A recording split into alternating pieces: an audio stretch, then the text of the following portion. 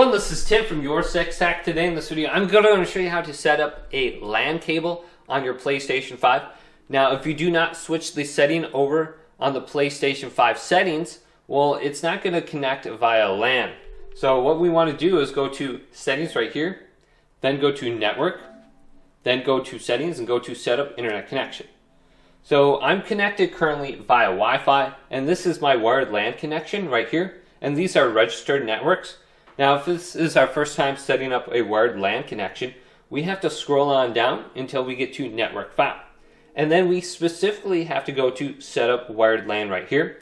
Now, this is grayed out for me because I don't have it currently plugged into the back of my PlayStation 5. So when you do plug it in, it should light up as like a white character. And then we can select it and then we can connect to it. Now, if we don't go to this specifically, we're still going to be connected via Wi-Fi. So in the future, you can just simply select wired LAN right here, and you should be able to connect to it since you have the cable plugged in and it's registered. And then you should be able to get full internet connection via your cable instead of Wi-Fi. But hopefully this video did indeed help you out. Did leave it a big thumbs up and subscribe my channel down below for more tech up videos coming up next on Your Six Tech.